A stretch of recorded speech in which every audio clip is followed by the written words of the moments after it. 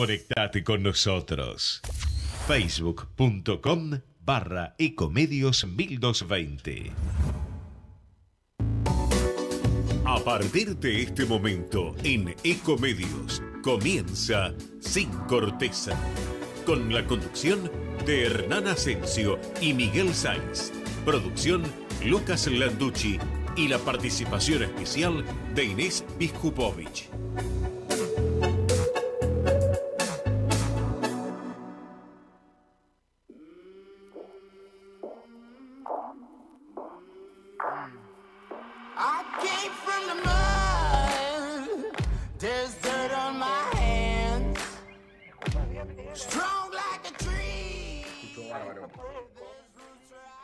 Mira, nos dan, nos dan el aire, me dice, me dice Gerardo, así que muy buenas noches, audiencia, bienvenidos a Sin Corteza, Sin Corteza Radio, buenas noches Hernán.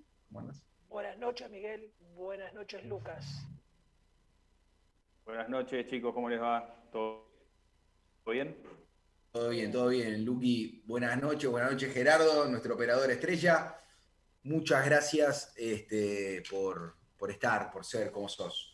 Te queremos, queremos ahí reforzarlo. Así que tenemos un, programa bárbaro hoy. Eh, estamos llegando a fin de año. Este año tan particular, hablábamos el otro día, Hernán, de esto, de que a veces uno putea el año, ¿viste? Pero estamos acá, eh, digamos, tenemos que, valorar las cosas que tenemos, tenemos que ser agradecidos y en ese sentido eso, es una fiesta también poder cumplir con otro diciembre. ¿No te parece? Es una, es una fiesta, sí. Totalmente de acuerdo. Tenés razón. Tenés razón. Y aparte, yo creo que en este año, eh, en, algún, en alguna medida, estuve como eh, eh, trabajando y ejercitando mis facultades premonitorias. Así que después cuando ingresemos en la noticia, vamos a poder decir, o voy a poder mandarme la parte y decir, evidentemente, no tengo la bola de cristal, pero más o menos de algo tan, tan tarado no es. Ah, ya me acuerdo. Ya me acuerdo lo que decís de, principio de año, este, cuando escribiste aquella nota sobre una normativa a la cual vamos a hacer referencia. Em, pero bueno, nos metemos en el programa porque hoy tenemos, eh, vamos a hablar de economía, de urbanismo, eh, de los objetivos para el desarrollo sostenible en, el segundo bloque. Y ahora nos vamos a meter en un conflicto eh, muy poderoso, muy potente que ha atravesado el programa este, de punta a punta, que tiene que ver con los residuos y que tiene que ver con el agua. Pero me gustaría arrancar con lo primero los residuos. a ver, cuando yo iba al colegio, iba a la escuela técnica, yo tenía el profesor de dibujo técnico de apellido Rodríguez. Cada vez que metía la pata yo me miraba y me decía, Asensio, otra vez de nuevo usted con esto. Entonces, yo le digo al gobierno nacional, gobierno, otra vez con esto. Puede ser que en cada una de las administraciones, otra vez de nuevo con esto denuncian que la Argentina volvió a importar basura. Así lo señaló la Federación de Cartoneros, que presentó un pedido de informes a los Ministerios de Ambiente y Desarrollo Productivo para conocer los pormenores del acuerdo y quiénes se beneficiaron con la importación de la basura.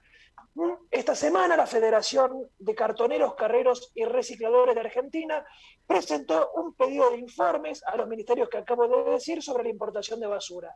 El conflicto comenzó luego de que se conociese la información sobre un nuevo acuerdo de importación en curso y el recurso presentado por la Federación busca acceder a información sobre quiénes importaron, si esas personas recibieron subsidios del Estado, los dólares que se fugaron para sostener esta operación y el procedimiento de control y auditoría realizado por el Estado sobre el posible material que haya ingresado. Así que te tengo que decir, Miguel, otra vez de nuevo, esto ya había pasado en la administración anterior con este decreto que permitía esta barbaridad y parecería ser que esta nueva administración, tomando el testimonio de la administración anterior, sigue para adelante con esta barbaridad que sabemos que nos perjudica a todos y que es altísimamente costoso para la nación. Sí, sí, hay que ver, hay que ver de dónde viene, eh, hay que ver la denuncia, por supuesto, y cómo, cómo prospera, pero la verdad que quisimos ponernos en contacto con, la Federación de Cartoneros. No tuvimos este, suerte para, este programa, pero vamos a seguir insistiendo porque queremos, queremos conocer más sobre, sobre este tema, sobre esta denuncia en particular, eh, para, llegar más a fondo.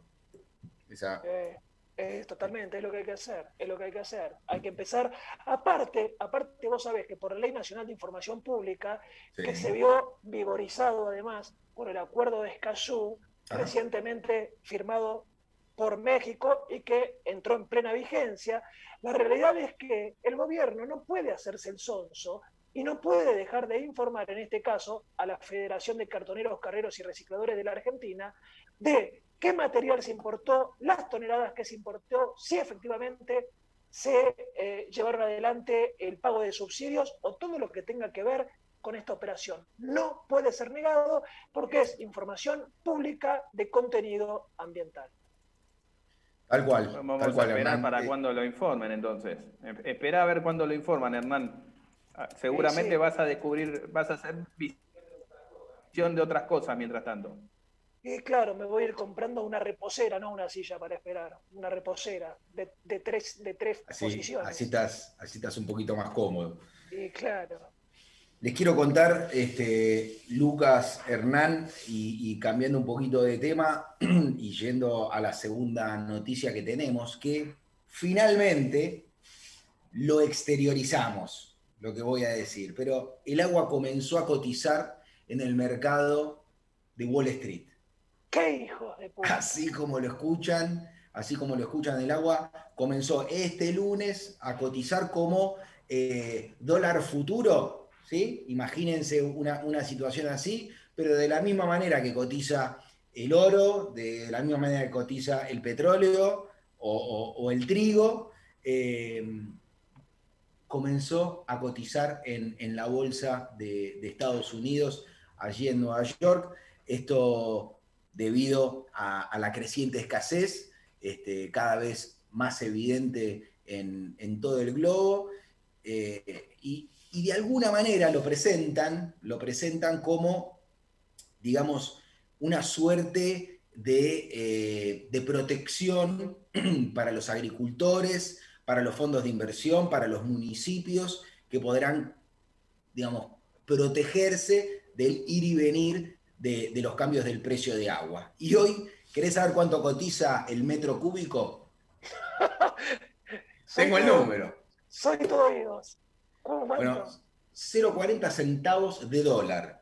¿Qué hijo de puta? Vos sabés que yo esto, no, yo soy Hernán Asensio Nostradamus, porque este año, en una nota que nos habían hecho los chicos de Somos Norte, del noticiero, yo le dije, le digo, nosotros cuando contaminamos los ríos, que tiramos literalmente la mierda al río, que llenamos los ríos de mierda, que contaminamos absolutamente todo, que un recurso tan preciado como es el agua dulce, lo escupimos, le cagamos encima y le tiramos basura, yo dije que cuando vayan a comprar un litro de agua al supermercado y paguen 80 pesos el litro de agua mineral, ahí van a decir, ¿Qué estamos haciendo? Y cuando yo dije que si en vez de pasar agua pasase en Mercedes-Benz cero kilómetros, la gente seguramente no les tiraría piedra, ni los tiraría tambores encima, ni los mancharía con pintura, les los llenaría de mierda los autos.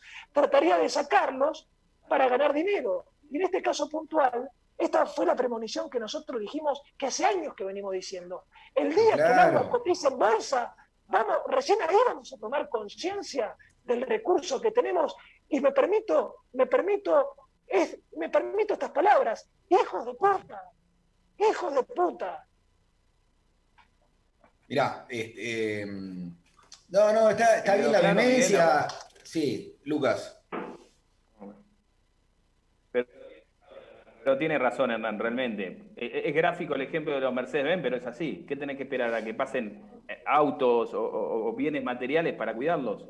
No, no, efectivamente tenemos que esperar que Wall Street, ¿sí? que nos diga este, el, mercantilismo absoluto de Estados Unidos, según la cadena Bloomberg, dice la noticia, este, están destinados a servir como protección para los mayores consumidores de agua de California contra la subida de los precios y como indicador de la escasez para los inversores de todo el mundo.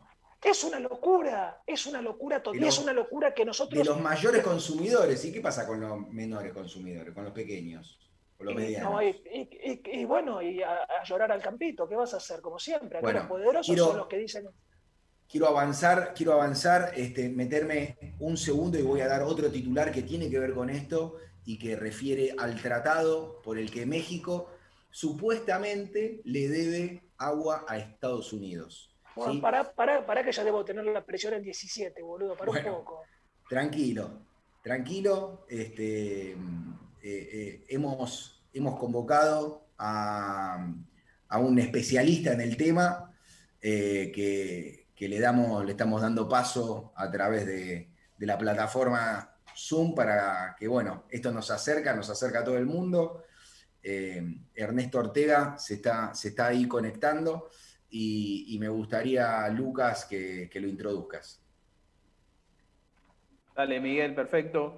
Buenas noches, Ernesto Ortega es biólogo, es consultor de medio ambiente, seguridad y salud hace 20 años que está eh, eh, brindando servicios de consultoría en gestión ambiental para HIS en México, y no solo en México, sino también para toda América Latina. Así que la verdad que es un gusto tenerte, Ernesto, esta noche. A ver qué nos podés contar un poco de este tratado entre México y Estados Unidos, el tema del agua. ¿Cómo andás? Te saludamos de Sin Corteza. ¿Qué tal? Buenas noches a todos. Un gusto, Miguel. Gracias, Hernán, Lucas. De verdad, un placer estar con ustedes.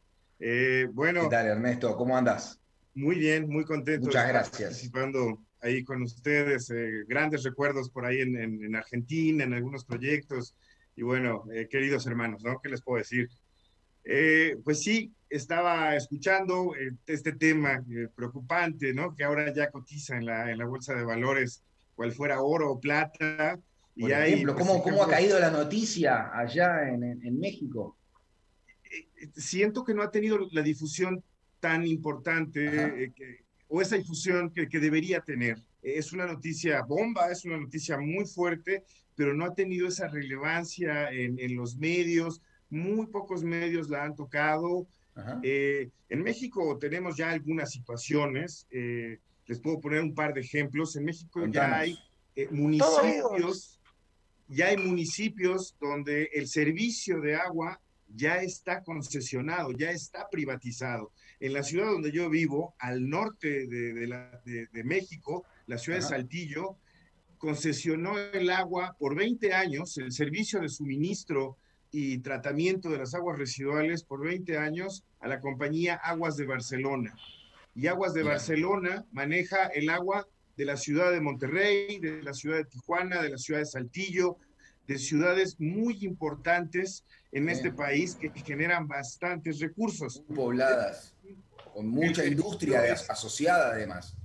Así es, así es. Y el, servicio suele ser eficiente, pero aquí entramos a unos temas eh, pues, de derechos humanos y de sobreponer la ganancia sobre el bien común que yo creo que es el tema más importante. Lo que sucede aquí es, hay una, pues, hay, presupuestos que se tienen que cumplir, hay cuotas que tienen que cobrar a los usuarios y ha habido casos, por ejemplo, eh, pues estamos aquí muy cerca de la frontera con Estados Unidos, es un cruce de migración muy importante, hay un par de, casas de migrantes eh, que apoyan a la gente que viene desde Centroamérica, migrando. Claro y a estos lugares le han cortado el suministro de agua por falta de pago.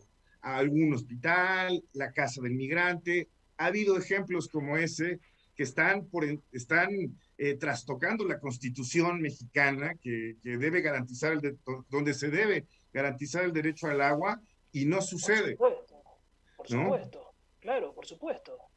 Y, digamos, o sea, es, casi a dedo este, lo, que me dice, porque si, si amparas a un migrante, este, recibes esta penalidad, digamos, lisa y llanamente. Sí, sí, sí.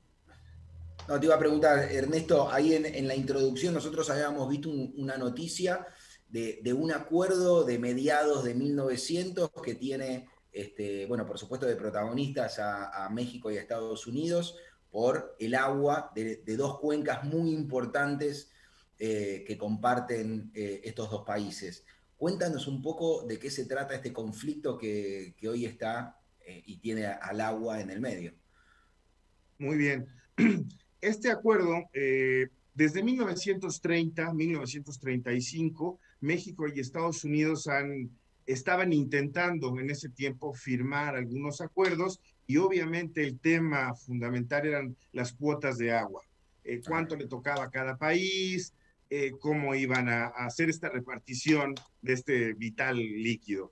Eh, hacia 1944 se firma el acuerdo entre México y Estados Unidos, donde es una frontera muy grande. Esta frontera que compartimos México y Estados Unidos son 3.141 kilómetros de frontera. 3.000 kilómetros de frontera. A lo largo de esta frontera se han contabilizado 11 acuíferos subterráneos transfronterizos que se comparten, que se han estudiado. Hay dos cuencas muy grandes, la cuenca del río Bravo, la cuenca del río Colorado, y hay más o menos unas 20 ciudades sobre esta frontera, las cuales, eh, bueno, del lado mexicano, del lado de Estados Unidos, hay un número similar, 20, 25 ciudades. Estamos hablando de 50 ciudades más o menos que, dependen del agua que hay en esta zona, que se acumula en esta zona. Eh, y bueno, ahí es donde empiezan las situaciones y los problemas. México, eh, hay ciclos, en este tratado hay ciclos. Entonces, de manera anual se tiene que entregar una cuota. Eh, México tiene que entregar una cuota en algunas presas, eh, compartidas. Estados Unidos entrega también una cuota en, otras partes del país, repartidos entre las fronteras. Cuando se cierra el ciclo de manera anual, se tiene que hacer este cumplimiento. Históricamente México ha, pues ha, fallado en, este, en estos acuerdos cinco veces. Sin embargo, ah, todas se han arreglado eh, pues de manera diplomática y se han llegado a buenos acuerdos. En el 23 de octubre se venció este ciclo, bueno, en este año, perdón. Este ah, último eh, periodo, digamos. Este último periodo se estaba cerrando. Así que eh, hoy tuvimos, o en este año tuvimos una sequía atípica. No había sucedido, llovió menos de lo esperado en, este país. La niña, digamos, que, que, se refiere. Le tocó exactamente. Exactamente, tocó el fenómeno de la niña, ustedes lo deben estar viviendo de manera similar y tenemos menos agua. Estuve preparando para, para esto, estuve revisando varios textos, varias noticias y un problema que había tenido México es, eh, se esperaba hasta el final. Bueno, claro. están las reservas de las presas, se tienen aproximadamente 200, 200 millones eh, de metros cúbicos y México tiene que ceder una parte. Una parte de la cuota tiene que, entregarse. 113, 113 millones de metros cúbicos tienen que entregarse. Entonces... Eh, no, toma dimensión de lo que eso significa. No, no, no, no, no se ve claro. No, no, no, no se puede. Para los agricultores, para el norte, digamos, el norte mexicano, que es desértico, completamente desértico ese es un punto y, ya has llegado a una introducción que, que me estaba saltando. En el país tenemos una disponibilidad de agua muy diferente. Al norte del país, más o menos 60% del territorio mexicano es desierto. El 40% del territorio es selva. Entonces, en este 60% que corresponde al norte del país, llueve el 25% del agua total para México. Y en el restante 40% eh, del país recibimos desde el 55 al 60% del agua de lluvia. Entonces, del norte tenemos una, un déficit siempre. Claramente. Eh, de agua. Eh, así que es muy importante y muy relevante para el norte estas cuotas de agua. Bueno, cuando se anuncia que México tiene que pagar ya la cuota que le corresponde a Estados Unidos, surge una protesta eh, legítima de, agricultores, de ganaderos, de, los regantes, como se dice. ¿Perdón? Los regantes, digo. quienes, requieren del agua. Así es, así es. Subsistir, no son los grandes lobbies, sino para subsistir. Exacto, exacto. Y eh, empezó a correr un rumor de que no iba a haber suficiente volumen de agua, el gobierno estaba diciendo sí tenemos un volumen adecuado, en el estado de, Chihuahua principalmente, que era quien iba a, ceder el agua en esta ocasión. El, Chihuahua, el estado de Chihuahua tiene el tamaño de Alemania, si lo ponemos en un contexto, es un estado grande, tiene el tamaño de Alemania. Y ahora le tocaba a este estado ceder el agua. Empezaron los rumores, eh, los militares cercaron la presa, la gente fue con piedras, con palos, dañaron eh, la, maquinaria de las compuertas, las bombas, estuvo muy fuerte y hubo, un par de muertos, hubo detenidos, fue muy grave, fue muy grave. Entonces, la verdad que sí, sí, es, un antecedente, discúlpame que te interrumpa, Ernesto, pero es un antecedente porque en la, introducción hablábamos ¿no? de, del agua cotizando en Wall Street. Eh, tú refieres ahora a, este conflicto bien concreto este, de Estados Unidos con México. No es este, una especulación financiera, sino que es un conflicto este, fronterizo por el agua. Y lo que decías vos, Hernán, eh, digamos, esto lo, venimos diciendo, no es algo nuevo, no es algo que tengamos que rasgarnos las vestiduras, que de repente se nos ocurre que el agua es importante. Eh, lo que pasa que ahora le estamos, lo estamos eh, evaluando en, la bolsa de Nueva York y, realmente toma, toma otra relevancia. claro, la mano izquierda parece que no sirve, pero el día que te falta, mamita, ¿no? Sí, exactamente, exactamente. Y ahora, ahora que, se tiene esta presión del pago, eh, los, los, usuarios, los regantes se dan cuenta, van y acceden y hay esta confrontación con el gobierno. Finalmente el gobierno toma, bueno, un poco tarde la decisión de replegar a los militares. Eh, hay estos enfrentamientos, hay, heridos, hay muertos, que, es grave, que es bastante grave, pero al final logran sentarse logran discutir y, se llega a un acuerdo. Se cede el agua a Estados Unidos y queda una reserva aproximadamente de 80 millones, 87 millones de metros cúbicos para la zona. Con lo cual, el gobierno menciona que es un volumen suficiente de agua, que esto va a, mantener con recursos eh, de agua en los próximos tres meses. En México empezará entre abril más o menos, abril-mayo, la temporada de lluvias. Entonces, entre los próximos tres, cuatro meses, el gobierno menciona que va a ser suficiente. Pero bueno, puedo entender la incertidumbre de, los usuarios al escuchar esta, esto. totalmente, pero, pero bueno, este, este es un, pequeño, no sé, estoy pensando en bandera blanca, en un, en un manto de, tranquilidad este, temporal eh, pero bueno, eh, me, gustaría ahí avanzar en, algunos, algunos ejemplos que tú, que tú tenías sobre eh, alguna cervecera allí que me acuerdo que me habías comentado, o mismo, porque bueno, pensando también en, el tiempo que, nos queda, que nos puedas contar un poco más sobre, sobre el desarrollo de proyectos este, que, que tú estás liderando, me interesa, me interesa, me interesa lo de la cervecera. Me, interesa lo de la cervecera. A Hernán puntualmente le interesa la cervecera. ¿Cómo es eso, a, todos nos interesa. sí, ¿De sí. ¿De qué se trata eso, Ernesto, por favor? Mira, eh, la, Corona, la cerveza que ustedes eh, conocen también por allá, bastante conocida, este, fue vendida a, una marca europea. Entonces, esta marca europea, Constellation Brand, gana eh, una concesión para uso de agua en la frontera, justo en, la ciudad de Mexicali, una ciudad que tiene déficit de agua, que históricamente eh, tiene problemas de agua, gana una concesión. la Comisión Nacional del Agua en México le da la concesión para uso de agua.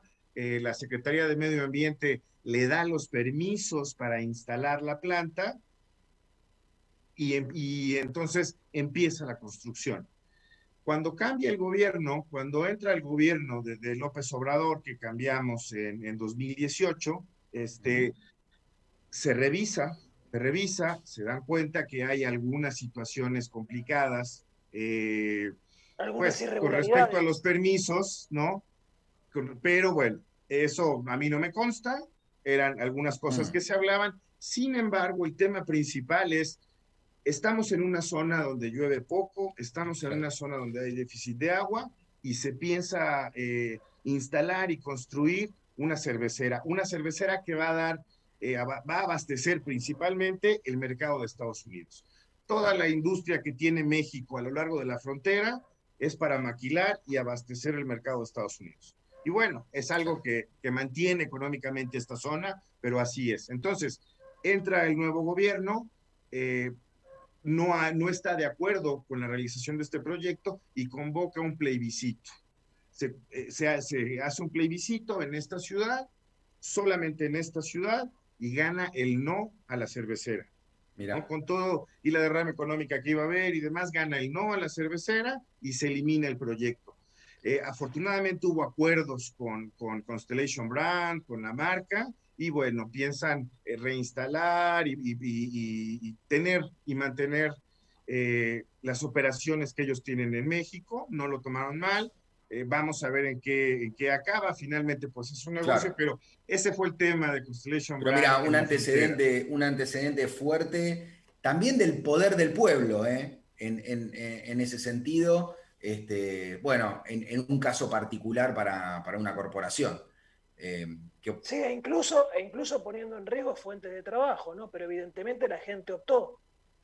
Sí, sí. El agua, el agua, estamos viendo, ya cotiza en bolsa, entonces si ellos tienen el agua, y, tocando rapidísimo el tema del agua virtual, finalmente el agua tú la sacas de, de, una cuenca y virtualmente la exportas en cerveza, en jugos, en leche, en productos y estás perdiendo el recurso que tienes, lo estás exportando, se vuelve un agua virtual que se va en un producto y la pierdes, sale de tu sistema que tienes aquí, ¿no? Qué bueno, qué bueno ese ejemplo, Ernesto, porque esas son las, las externalidades que no asumimos como nación en este caso, donde estamos exportando algo por un valor de mercado, pero cuando en realidad tiene otro, otro costo este, ambiental. Así es, así es. Así que, pero bueno, estamos llegando, estamos llegando al, final del bloque, Ernesto. Nos gustaría este, primero agradecerte muchísimo el tiempo este, que hayas podido compartir. Esta realidad que nos toca del Zoom y de la virtualidad nos acerca, porque tú estás allí en Saltillo, a 10.000 kilómetros de distancia, y, bueno, y podemos charlar, y eso también la verdad que es un, un valor agregado importantísimo y que nos puedas contar de primera mano lo que está sucediendo. Y una pequeña parte de lo que pasa aquí en México. Pues yo les agradezco mucho este, y pues a la orden. Un placer platicar con ustedes. Así que... Ernesto, muchísimas, muchísimas gracias por haber, por haber participado, por habernos ilustrado de las circunstancias que están acaeciendo allá en México y, como siempre digo, fundamentalmente gratis. así que. Un placer. Un placer. Unas chelas para cuando nos veamos, una cerveza. Lucas. Ernesto, unas coronas. Ernesto, ¿dónde te podemos ubicar si la gente te quiere contactar? ¿De dónde sea? Bueno, acá ya somos internacionales, así que nos puedes dar tu, tu contacto, mail, lo que sea. Claro que sí, les dejo mi correo electrónico, el de la compañía que tenemos, una consultora de servicios ambientales, eortega.bgomexico.com.mx. Estamos en LinkedIn como BGO México, eh, mi Twitter, Ortega-17, arroba Ortega-17. Y bueno, eh, visítenos por ahí. Tenemos este, eh, pues varios servicios que podemos también ofrecer y hemos trabajado en, en América Latina, como, como mencionaba Miguel. Perfecto, bárbaro, Ernesto. Muchísimas gracias. Excelente, muchísimas gracias. Estamos hablando, vamos a una tanda cortita, no se vayan, volvemos con Sin Corteza. Muchas gracias, Ernesto. Ecomedios.com AM1220. Estamos con vos. Estamos en vos. El mosquito que transmite el dengue se cría en recipientes que juntan agua. Para prevenirlo, elimina, da vuelta o tapa baldes, latas, botellas y neumáticos que no uses y que puedan acumular agua. Lava el bebedero de tu mascota todos los días. Destapa las canaletas, rejillas y desagües de lluvia. Rellena con arena los portamacetas. Desmaleza jardines y patios. Que el mosquito no se críe en tu casa. Evita que se reproduzca. Más información en argentina.gov.ar. Argentina Unida. Ministerio de Salud. Argentina Presidencia. Descarga gratis de tu celular la aplicación Ecomedios. Podés escucharnos en vivo, informarte con las últimas noticias y entrevistas en audio y video. Búscala y bajate la aplicación Ecomedios. Podés vernos en vivo en ecomedios.com. Ecomedios.com. Contenidos audiovisuales. Conectate con nosotros. Contestador 5 254 2353.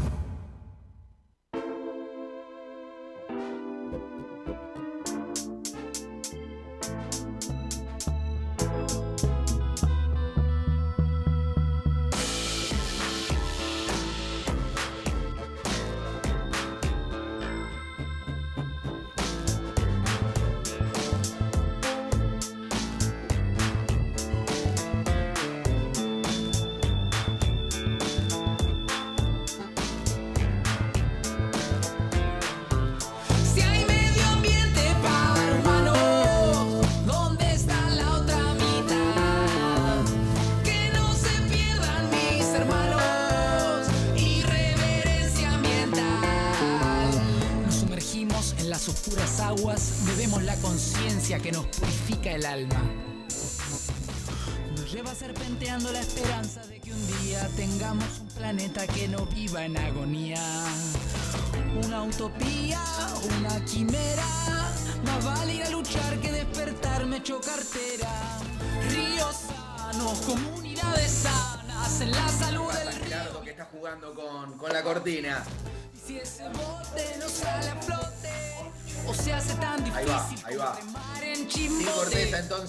estamos de regreso después de, hablar con Ernesto y, la realidad latinoamericana, la realidad este, ahí más que nada del norte de, América, eh, de nuestros hermanos casi, mexicanos. Casi ahí, ahí en el límite, Miguel está. Como en el límite, pero... A mí lo que a mí lo que me gustó fue lo del agua virtual. Interesante el concepto ese, me, sorprendió. El agua virtual. Bueno, se está hablando mucho de eso ahora eh, con las contribuciones determinadas de cada nación para, asumir el, acuerdo de París este, y, de qué manera vamos a bajar las emisiones de gases de efecto invernadero eh, y cómo, digamos, profundizar en estos conceptos que tienen que ver con la eficiencia en el uso de recursos. Bueno, lo hemos hablado en distintos programas eh, y, esos son conceptos económicos que refieren al tema. Es una locura, es una locura total. Hoy no me voy a poder dormir, voy a llegar a mi casa regulando en 18.8 más o menos de presión arterial. Estoy desquiciado, ya perdí la voz, el poco pedazo de voz que me quedaba de, los nervios, ya estoy totalmente difónico, así que eh, la verdad es que yo, esto lo veníamos, yo no, nosotros, el equipo, lo veníamos hablando, lo veníamos sosteniendo, lo veníamos avisando, lo veníamos eh, de a poquito haciendo público y hoy en día eh, yo, Wall Street y la cotización del agua. Y vos mirá, los mexicanos el quilombo que tienen, el quilombo que tienen, al punto tal, al punto tal, que una de las industrias menos, menos complejas para el medio ambiente, por el tipo de, eh, eh, de, eh, de producción, son las cerveceras. Pero al punto tal que tuvieron que darle una patada en el culo a una industria hermosa, que habría un montón de fuentes de trabajo, porque precisamente lo que estaba en juego era el recurso de esta gente, era el recurso del agua, ¿no? O sea, chicos, váyanse a otro lado, porque no tenemos plata, ni, no tenemos ni agua para hacer cerveza. Es entonces. ese nivel. Tomemos, lo que, tomemos lo que está, es una locura, es, es un cuento chino. Eh, tomemos lo que está pasando en un país que está acá cercano, que es que comparte gran parte de la cultura con nosotros, en un hermano latinoamericano y o hispanoamericano y tomemos tomémoslo y capitalicémoslo lo que le está pasando a estas personas. Entonces, a ver, y mi pregunta es... Eh, que no, no, no es ciencia ficción, ¿entendés? está acá. Vos me decís, un tipo, que, un tipo que envenena, una industria que envenena un arroyo, que pone en riesgo, que pone en riesgo, no, que enferma a nenes, a nenas, a mayores, a normal, a personas comunes, que los enferma, que hay malformaciones como consecuencia de las contaminaciones con metales pesados y la mar en coche. ¿Qué diferencia hay entre un terrorista que ejecute este tipo de actos con otro que viola nenes? Porque nosotros los queremos matar a, todos los que violan nenes, los queremos matar. Estamos, tienen que ir presos, no pueden salir más. Y estos sinvergüenzas, porque si vos me pones, si vos, si yo tuviera que ser víctima de un delito, una víctima atroz de un delito, la verdad que prefiero ser víctima de una violación a víctima de una malformación imposible de recuperarme en toda mi vida como consecuencia de la contaminación de origen ambiental.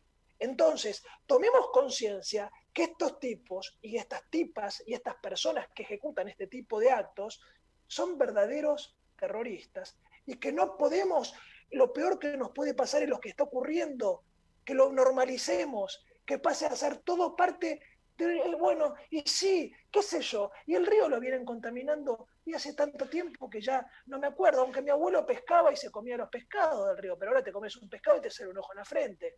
Entonces, eh, la pregunta es, o, lo, importante y lo que uno tiene que eh, poner como válido en, el, en la escala de valores de uno es, a ver, che, estamos contaminando los ríos, sí, es atroz, sí, es atroz. ¿Podemos seguir, podemos seguir admitiendo este tipo de conductas? No, denunciémoslos.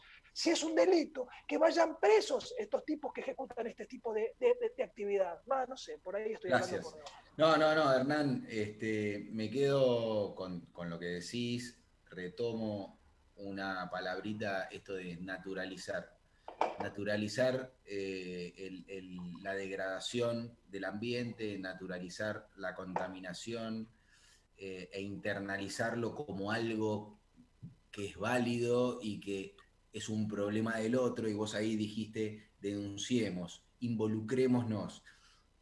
Y este programa tiene mucho de eso. Eh, cuando nos juntábamos con Luca, con Hernán este, y con, la gente del instituto y, hablábamos de transmitir un mensaje, buscábamos exactamente lo que acabas de decir, eh, con, sus bemoles, pero es eso, es eso, y déjame, introducir este, a lo que viene, porque en ese, en ese no naturalizar la degradación del ambiente, necesitamos el apoyo de la ciencia, porque necesitamos eh, darle sustento fuerte, científico, para poder eh, fundamentar cada una de estas apreciaciones. Y una de esas, y una de esas ciencias es, es la economía. Y, para eso trajimos a un, a un especialista, a, Santiago Antonioli, que me gustaría, por favor, Lucas, ahí le estamos abriendo la puerta cordialmente a Santiago, que, que lo puedas introducir. Lo presentamos a Santiago. Eh, Santiago es licenciado en Economía, tiene un máster en Economía Urbana y además se especializa en temas de planificación urbana y gestión sostenible de ciudades. Este, bueno, acá tengo una otra cosita más, creo que eh, ferviente hincha huracán, eso no sé si lo tenía que decir, pero bueno, Santiago, buenas noches, ¿cómo andás? Buenas Te saludamos noches. de Sin Corteza, Hernán. ¿Cómo están? Agradezco particularmente la distinción de mi simpatía por Huracán, todo el resto viene a continuación. Gracias. ¿Cómo andas? ¿Cómo andas, Santiago? Cháchara. Todo bien. Muchas gracias por la invitación. Un gusto. No, muchísimas gracias por, aguantar hasta esta hora. Sabemos que es, una época complicada, este, con, muchas cosas entre manos y, bueno, nada, este, agradecerte muchísimo el tiempo, el espacio. Eh, y bueno, veníamos hablando un poco de, esto de eh, darle sustento científico a soluciones para estos problemas que identificamos. Venimos hablando mucho de los problemas, hablamos en el primer bloque del problema del agua, eh, pero, pero bueno, en, este, en esta búsqueda del sustento científico queríamos ver cuáles son los desafíos, pensando en, lo que nos decía Lucas, que, vos te especializás, este, que tiene que ver con, planificación urbana, con sostenibilidad. Eh, cómo lo ves vos? Eh, escuché un poco la entrevista anterior. Eh, a ver, hay muchos procesos que se estudian desde la economía para interpretar efectos positivos o negativos de las diferentes transacciones económicas que no están reflejadas en el precio, cuando el precio no termina de funcionar. Lo que en economía ambiental, es como que el primer capítulo habla de externalidades.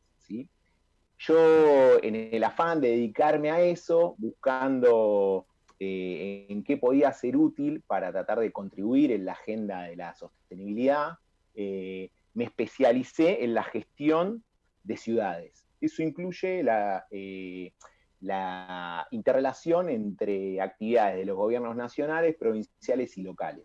Hoy hay muchísimo énfasis puesto en eh, la relevancia de los gobiernos locales, porque se considera que la provisión de bienes públicos por parte del Estado necesita la interacción con la gente para que la gente se apropie de esos bienes públicos y, no los perciba como ajenos o como bien comunal de todos. Que lo sienta propio, que, son Claro, claro. Frente a eso, un, un hecho sobresaliente que se estudia y es en lo que yo más trabajo es en que las ciudades del mundo, pero particularmente las argentinas, crecieron en los últimos 20, 30 años muchísimo más en extensión eh, que en el crecimiento de su población. Entonces bajó mucho la densidad. Y eso ah, tiene muchos problemas, muchos problemas, eh, eh, tensiona muchísimos aspectos de la agenda de la sostenibilidad, en términos de emisiones de dióxido de carbono, uso de combustible. Exactamente, exactamente. Por las distancias, básico. Claro, claro. Tal cual, en el uso eficiente de las infraestructuras. Eh, en todo ese tipo de fenómenos, a ver, eh, así como para darles una foto, en la Argentina, entre, o sea, se, venía estudiando con imágenes satelitales, eh, satelitales que se compraban, había el 91, 2001, 2010, y se vio eso como el crecimiento de las ciudades, en, de las 30 ciudades más grandes de la Argentina, había crecido casi un 90% en expansión y la población un 38%. Entonces la densidad había bajado muchísimo. Hoy, hace dos años, se convenió con una agencia alemana que tiene fotos de satélites anuales y se ve foto año a año. Y entonces, aparte de esa información que sabíamos de la extensión de las manchas urbanas que se comían, lo que se llama el periurbano, que mucho es eh, eh, predios agrícolas o rurales, claro. casi semi-rurales, mucho dedicado a, la provisión de alimentos para esas ciudades y es lo que se come en la ciudad. Aparte de eso, hay dos componentes, muchos humedales, muchos humedales. Muchos humedales se morfan, claro. Exactamente. Eh, se empezó a ver con, esta nueva tecnología de imágenes que tiene más precisión, eh, que el 30% del fenómeno más o menos lo explican los country, y la vivienda social y los asentamientos explican un 20% más. Y después hay otro componente importante que son los vacíos urbanos, espacios que quedan o por sucesión o por terrenos del tren, que no sé, muchos que son eh, del Estado, muchos eh, terrenos del tren que quedaron en desuso, que, que generan espacios eh, sin uso, que rompen la continuidad de la ciudad, desvalorizan sectores. Entonces se trabaja mucho en, a partir de ese diagnóstico, cómo se puede planificar con los gobiernos locales para hacer el entramado de la ciudad eh, más denso y más eficiente en términos de sostenibilidad. ¿Se entiende? Sí, perfectamente, claro. Perfecto. ¿Y, cuáles son esas soluciones, digamos, que planteas? Como, como digamos, algunos ejemplos que, que puedas abordar. Eh, ahí, se combinan eh, tres cosas, básicamente.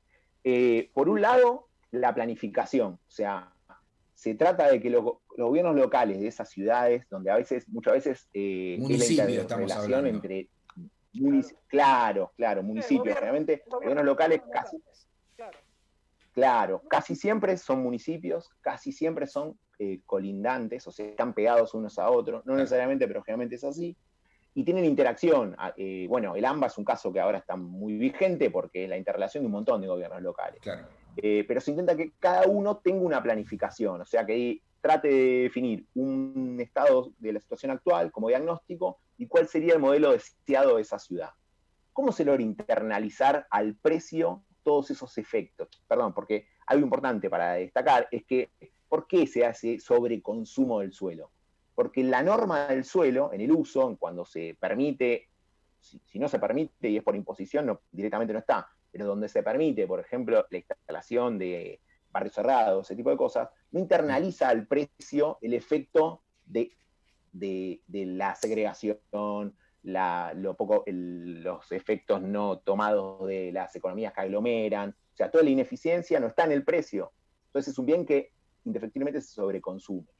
Con la planificación se busca regular eso. ¿De qué manera? Y por ejemplo, que se regulan densidades, alturas de construcción, cada cuántos metros en radio tiene que haber una plaza, un equipamiento urbano, un hospital. Todo eso va generando que cuando se divide la cantidad de metros cuadrados a edificar por el tipo de suelo, bueno, se, empieza a capturar valor para regular una, sociedad, una ciudad que se ordena. ¿Se entiende? ¿Se entendió? ¿Se entendió? y eso es política pública, pura. Política pública pura, pura, pura, pura. el otro componente. Claro, es la planificación urbana, exactamente. Dentro de eso, un componente importante es la infraestructura, o sea, el agua, el saneamiento, la provisión de vivienda social. Les contaba que también eh, mucha vivienda social se hace en los márgenes de las ciudades y eso no termina siendo del todo útil, muchas veces segrega, muchas veces tiene el acceso de agua y saneamiento que tiene que llegar hasta esos hasta lugares alejados, eh, no se termina amortizando nunca porque es una obra que por la cantidad de gente no se justifica, pero se hace. Bueno, ahí hay mucho que sí. El, sistema de recolección de residuos también entra. Lo mismo, lo mismo, tal cual, tal cual. Bueno, por ahí vos eh, decías, Hernán, está, está, buenísimo lo que dice este, Hernán de eh, la planificación urbana, ¿no?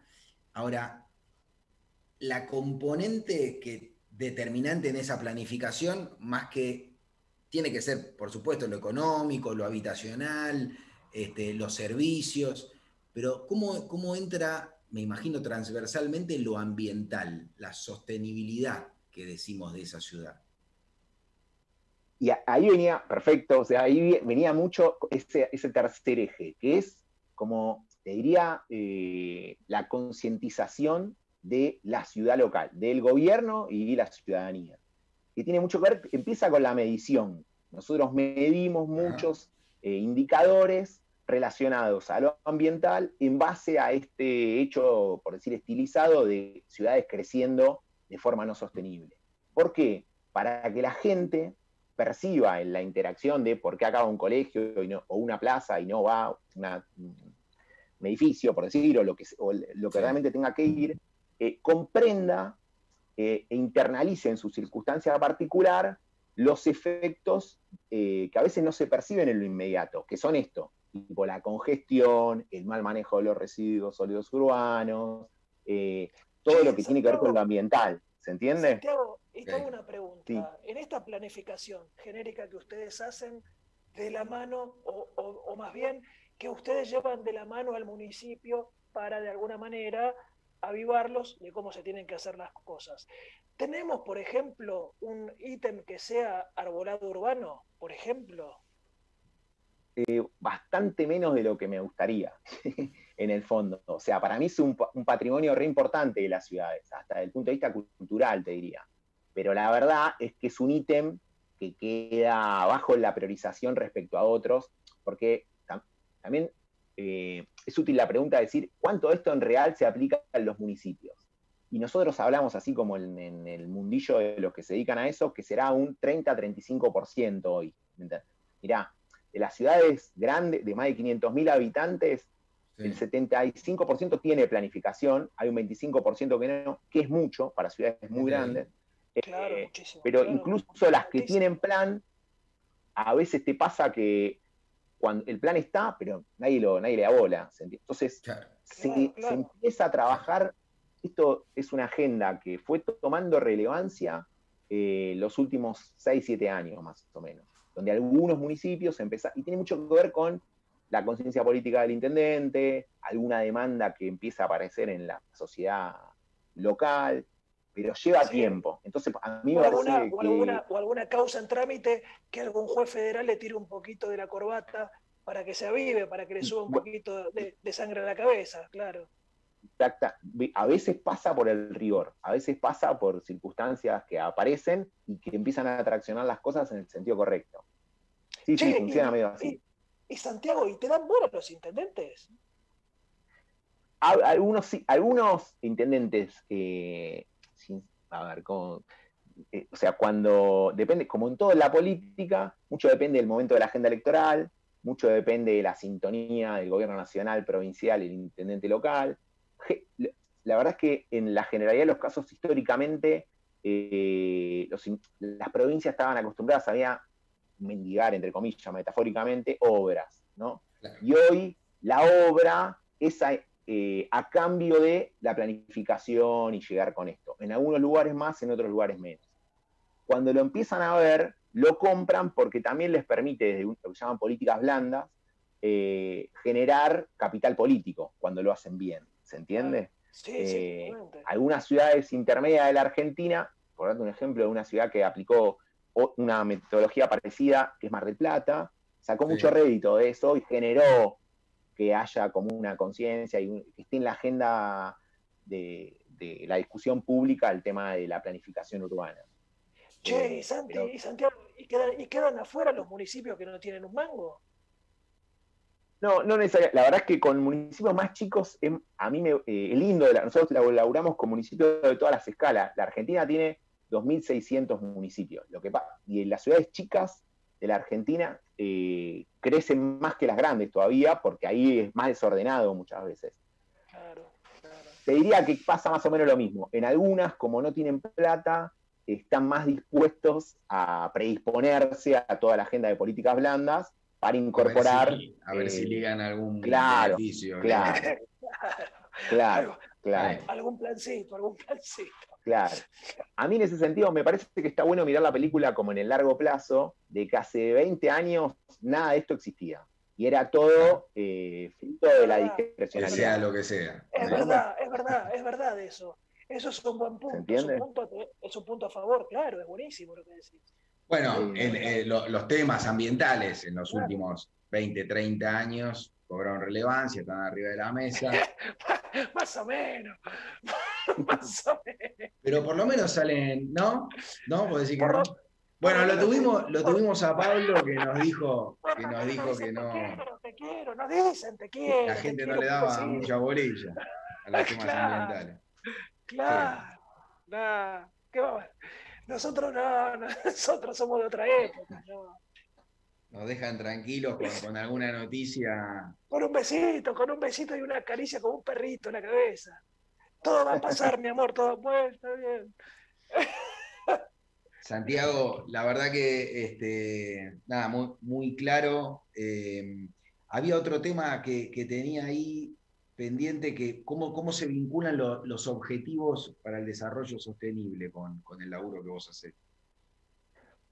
Eh, es cierto en que los podemos utilizar, este, si, pueden llegar a, tierra finalmente. Eh, sí, para a nosotros nos resulta como una manera eh, útil de entrar. También en esto de la oportunidad política. Muchas veces el, intendente viene con, che, yo quiero estar en la, quiero la foto con el ODS.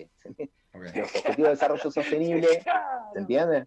Eh, tiene el, el objetivo 11 es el de ciudades sostenibles eh, y tiene una batería muy grande de indicadores, puntualizando, uno es este de la expansión urbana, otros son los de acceso a agua y saneamiento, otro es el de tenencia informal de la tierra, eh, otros si tienen planificación, están, hay un montón. el la dirección en la cual yo trabajo se relevan cinco, que son un poco estos que les mencionaba, y a partir de eso, eh, según en qué lugar caes de, no sé si cantidad de gobiernos locales sobre cantidad, eh, con planificación sobre cantidad de gobiernos locales, bueno, empieza la formulación de políticas que van en ese sentido. Ahí, o sea, en la medición se usa mucho las metodologías de Naciones Unidas para llegar al municipio con un diagnóstico medio estandarizado. ¿Entiendes? En, eso es donde más pesa. Ahí es donde, donde está bien, se le da más, bolilla y, aplicación y que bueno, que tenga algo, por lo menos de diagnóstico y utilizarlo después para, para lo que necesitamos efectivamente. Bueno, este, Santiago, muchísimas gracias. Se nos está acabando el tiempo. Eh, ¿Dónde te puede encontrar la gente? ¿Tenés este, Instagram, Twitter? Nos escribí mucho. Tengo. No sé si querés eh, compartir. sí, en este. Eh, en el ministerio te puede encontrar. Mi mail personal es santiago.anto. Claro, sí, en la cancha de Huracán, en el mismo sector, siempre, eso casi se seguro cuando vuelva al público. Y si no, santiago.antognoli.yahoo.com, siempre predispuesto al intercambio y a, generar, unir con flechas con la gente que tenga inquietud. Eh, así que eso. Santi, muchísimas gracias por el tiempo, por aguantar hasta esta hora. Un besito a la familia. Igualmente, un gran saludo para ustedes. Muchas gracias. Te quiero mucho. un abrazo grande. Hoy muy Gracias. Chau, chau, mi vida. Santiago. Gracias. Bueno, ahí pasaba, pasaba Santiago, entonces. Este, Buenísimo, te pasaste, Miguel, te pasaste. Un capo, un capo, Santiago, realmente este, nos conocemos hace muchos años y un profesional excelente y un gran amigo. Y así que, bueno, seguimos con la agenda. Disfruté el programa como nunca. qué bueno, qué bueno, Hernán. Sí, sí, hermoso, hermoso. Lucas, ¿qué tenemos de la agenda? Teníamos un par de, cositas lindas. Sí, un par de cositas eh, yendo a lo sostenible, pero rescato también que necesitamos de esta gente como Santiago, ¿no? La verdad que está bueno ver que hay gente que labura y, le mete esta, esta energía como Santiago. Eso nos reconforta un poco, porque siempre son todas malas noticias, pero realmente esto hay que rescatarlo. Y yendo a la agenda, este martes 15 a las 11 la Alianza para la Acción hacia una Economía Verde, eh, las siglas son en inglés, son PAGE, conocido como PAGE, invita a participar de diálogo nacional sobre transición justa hacia un desarrollo integral y sostenible. Esto se puede seguir desde la cuenta de PNUD Argentina, el canal de YouTube de, de el martes 15 a las 11 y al día siguiente, el miércoles 16 a las 11 a la misma hora, está la segunda sesión de capacitación en consumo y producción sostenible a través del Centro de Derecho Ambiental de la UBA. Este, el formulario para, para presentarse o para inscribirse lo vamos a postear en, nuestro Instagram en arroba sin corteza radio. Así que el miércoles 16 a las 11 está esta segunda sesión de capacitación de la UBA. Excelente, Lucas. Hermoso. Este, bueno, tuvimos un, lindo programa, a mí se me pasó volando. Eh, no alcanza, evidentemente hay veces que no alcanza una obra, viste, que vuela, vuela, es increíble. Sí, sí, sí. Eh, bueno, tenemos, es como que nosotros los ambientalistas somos ciclotímicos. Yo un día digo, no, ¿para qué hago todo esto? ¿Para qué litigo? ¿Para qué hago denuncia? ¿Para qué voy a los tribunales todos los días? ¿Para qué? ¿De qué sirve? Si a nadie le importa nada el medio ambiente y la salud de las personas, a nadie, y yo a mi casa desahuciado, y, hay veces que me enrosco y, se me, y subo la presión, y, hoy lo escuché a Ernesto, eh, lo escuché a Santiago, y digo, bueno, eh, al fin de cuentas somos unos cuantos, ¿no? hacemos número, hacemos número. Eh, así que hay partido. Que vengan que hay partido. Te lo hiciste, Miguel. Buena gente. Muchas gracias, Lucas. Muchas gracias, Hernán. Lindo programa. Nos vemos el jueves que viene, 23 horas, sin corteza. Tenemos una gran sorpresa el jueves que viene. A ver si cambia un poco. Estamos en otro, en otro ámbito. Eh, apuntamos a eso. Un besito grande. Adiós. Buenas noches. Chao.